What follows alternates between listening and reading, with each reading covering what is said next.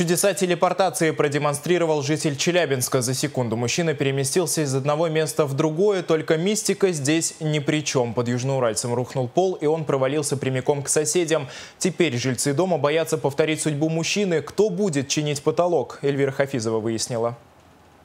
Потолок, получается, прогнил, видать, и не выдержал его вес и он провалился сюда. Рамиль, не скрывая улыбки, показывает дыру в потолке. Случай действительно курьезный. ЧП произошел в общежитии на улице Горького в доме 51. По словам местных, на чердак забрался пьяный мужчина и уснул. Гнилые доски попросту не выдержали сладко спящего. В считанные секунды земля ушла из-под ног, и челябинец провалился прямо в общий туалет. Сам неизвестный не пострадал, ушел на своих двух. Местные говорят, экстремал по неволе здесь не проживает. Как очутился на чердаке, не помнит.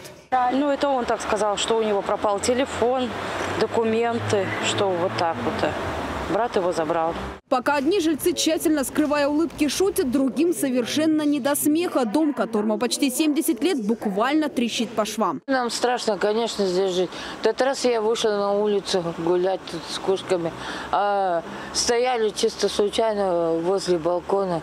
На третьем этаже сыпался балкон кирпичи падали. По нашим меркам я скажу, что вот все 34 года точно не было капитального ремонта. Общежитие обслуживает управляющая компания ЖЭУ-4. Судя по квитанциям, которые мы нашли в коридоре, не все жильцы исправно платят за капремонт. У одних долг в 30 тысяч, у других 15. На вопрос, кто будет отвечать за дыру в потолке, коммунальщики внятный ответ дать не смогли. Как-то будут проводиться ремонтные работы или что?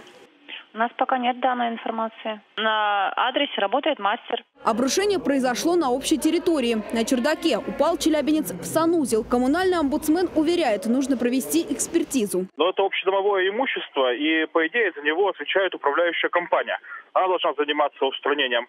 Но при этом управляющая компания э, вправе также взыскать э, ущерб с того человека, который нанес ущерб. Ну, то есть, кто э, произвел разрушение.